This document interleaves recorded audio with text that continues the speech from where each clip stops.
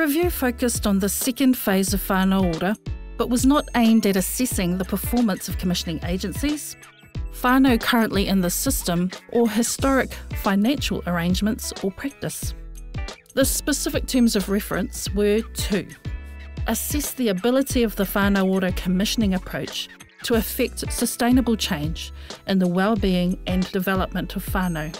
To explore the extent to which the whānau ora service delivery model and commissioning approach is accountable and transparent in the achievement of outcomes for whānau. And to scope the applicability of a whānau-centred approach as a model for improving outcomes for whānau across government with an emphasis on the social sector. The review panel was given six months to conduct the review, beginning in April 2018 and concluding in November with the delivery of their report. During the engagement phase of the review, the panel met with 184 whānau, 74 partners and providers, 104 navigators, 19 whānau entities, and 16 government agencies at 19 locations across the country.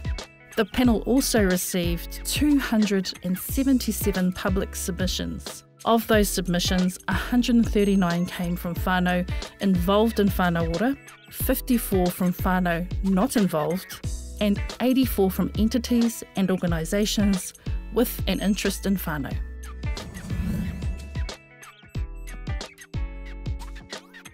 From a Te Kōkiri point of view, the most compelling finding of the report is its affirmation of the whānau Ora approach as an approach that works.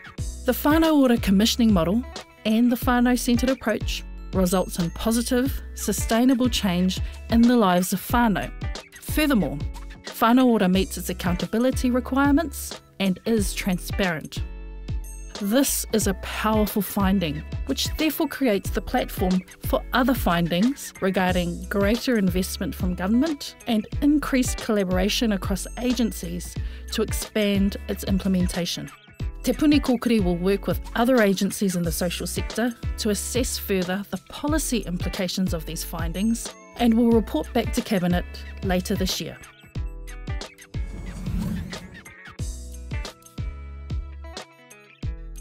Additionally, there are a number of findings regarding suggested improvements which Te Puni Kōkiri is already addressing. For instance, the development of the Whānau story and promotional initiatives is already underway, and Te Puni Kōkiri will also hold a summit in March to share information and learnings from its whānau development work aimed at increasing the adoption of whānau centred approaches.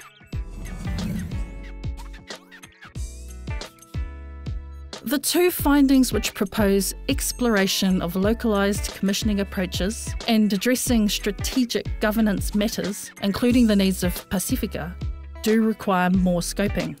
More importantly, however, these aspects of the report require wider discussion with a range of groups across the whānau ora system.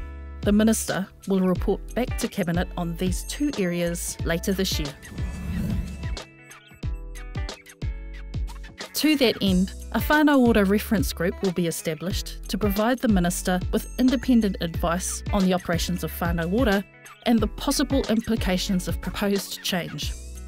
In the meantime, current arrangements for whānau ora, that is, our contractual commitments with the commissioning agencies, and the delivery of whānau ora services remain. You can read the review report on our website www.tpk.govt.nz.